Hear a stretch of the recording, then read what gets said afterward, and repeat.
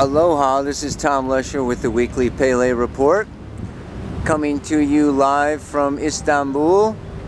I just got off the plane. I hope it's not too late here. It is Wednesday. And I know that the new moon is happening practically as I speak. It's happening at 924 in California. And this is at 26 degrees, 55 minutes of Cancer. This is an astrological uh, report for this week. And this week is an intense week. If you haven't noticed, I'm sure you have. Um, basically, what's going on here is we've got Mars has moved into the sign of Libra and it is creating a T-square it's in opposition to the planet of Uranus, and it's square to the planet Pluto. Now we've had this Uranus-Pluto squaring going on for quite some time in the signs of Aries and Capricorn, and now Mars is coming up to really emphasize it. And of course, we also have this new moon happening in the sign of Cancer, okay, and it is in square to the planet Saturn. So what does that mean? Well, let's look at it. Did I give the day? Today is July 18th. Now, it's a whole lot of shit going on. That's what that means. No. Number one, we've got Pluto in Capricorn. Yeah? Pluto in Capricorn wants financial and physical security. Pluto in your natal chart and in transits is where you can be obsessive compulsive. There's a high, strong emotional need and emotional demand in the sign of Capricorn to really get it together, to set a goal and to go for it, and to hold on to what is going to be solid and secure in the future. So this is this Pluto going on. At the same time, we've got this Uranus Uranus in the sign of Aries. Aries is individual, yeah? It's stepping out. And Uranus is freedom, rebellion. So this is a time, you know, Uranus I always associate with Prometheus, the light bearer. He's more than just a light bearer. He is a rebel. Yeah, he stole fire from the gods, Zeus, brought it down to earth, and let's just look at that once. Yes, it's very enlightening, it's very powerful, it's very good, and at the same time, Uranus, Aquarius, and of course a lot of people with planets in the 11th house, can be very extremely rigid. Aqu you know, Aquarius is a fixed sign. Uranus is a fixed planet. And Uranus can have this this mental picture of what life is, of what life means, of what life is about, and can be extremely rigid. Not only rigid, but arrogant, the know-it-all. So wherever we have Aries now, wherever we have Uranus going on now, we can be very inflexible in our own way, in our own time, in our own right, and always being right and not being there in the heart. Uranus is this third eye, it's the sixth chakra. There's, there is not a lot of heart, it's like lightning, okay? Electricity, the nervous system, it's get it all going. So, you know, this, this is just like, you know, the nutty professor or the genius but it's very cold, can be cruel, calculating, very powerful and enlightening, but not a real sweetheart. So we've got this Pluto energy in Capricorn, this like obsessive compulsive, goal oriented, get secure, get solid. And then we've got Uranus over here. It's got to be my way, this way, or the highway. And then Mars comes along into the sign of Libra and triggers all this stuff. through our partnership, through our relationship. Mars, again, is desire. It is that powerful masculine stepping out, reaching forward. But I'll tell you, when it comes into the sign of Libra, Mars is desire, Libra is relationship. I desire relationship. Mars in Libra wants to please, wants to cooperate, wants to create actively peace and harmony. So it's a very interesting time. It's a time when we can get really obsessive, compulsive about our own way and create a lot of opposition, a lot of arguing, a lot of debate, create these situations where people challenge us and question us, our goals and our needs, and we can be just boom, shut down, go away, give up, quit.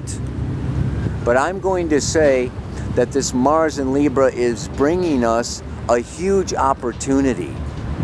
This is really a huge opportunity to see ourselves not only through the eyes of others, but to actually create in cooperation with, in community with the other. This is a time where if we can cool our jets and we can be patient enough and we can deal with feelings instead of judgments, then we can really find out and make, become aware of, establish something totally amazing, something totally new. This is really a fantastic time, full of fantastic opportunity. Because what we want to do is go to the Pluto polarity point. Pluto polarity points 180 degrees opposite Pluto so we've got Pluto in Capricorn, it's down in Cancer. Guess what? Ah, new moon. so we've got Uranus in fire, Mars in air, Pluto up here in Earth, and the new moon down here in water, in Cancer. So this says that this T-square, the solution to the T-square is the empty part of the diamond. And that empty part of the diamond with Mars, Pluto, Uranus is Cancer.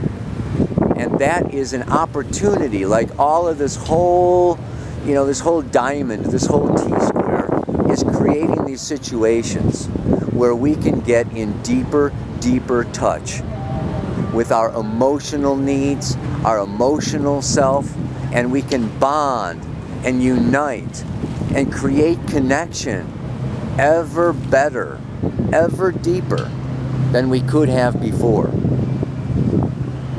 So rather than doing the battling, rather than doing the fighting, I'm going to look at our mantra this week, you know, and the, the mantra for this week is very important, yeah? No longer fearing the needs of others. I listen instead of smother.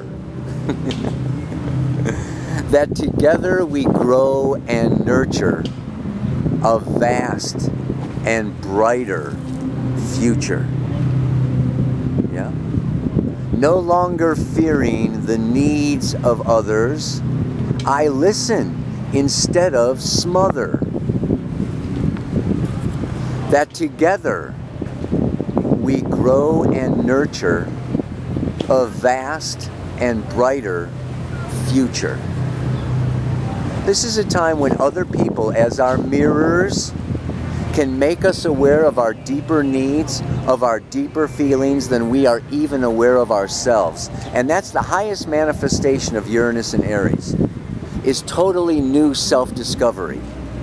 So this Mars going through Libra is actually helping us if we can chill out enough to listen and receive and actually hear, okay, I hear you saying that, you know, I really am afraid of settling down.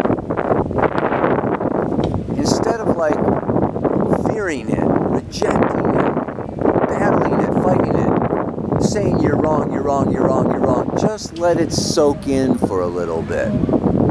Maybe they're saying something that I am not aware of or in touch with myself.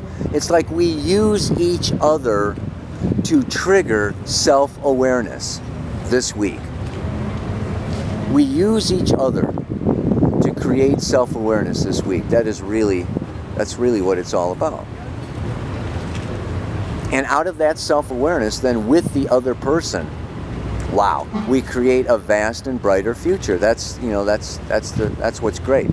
I mean, I could go on with the astrology of it. With that's you know Jupiter conjunct the South Node in the sign of Gemini, ruling the North Node, which is the future, vast. Jupiter is vast and expansive, and the North mm-hmm. Node is future. So it's not just this T square that I'm talking about. I'm talking about the whole chart. I'm just talking about the whole mm-hmm. energetic patterns going on around planet Earth these days.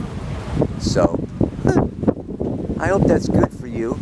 I hope you have a good week, that you listen, that you make it happen instead of like fighting it and resisting it and not changing and staying rigid, you know, out of fear and holding on and I've got my goals and you're I'm, I can't change my goals. Change the goals to include the other people.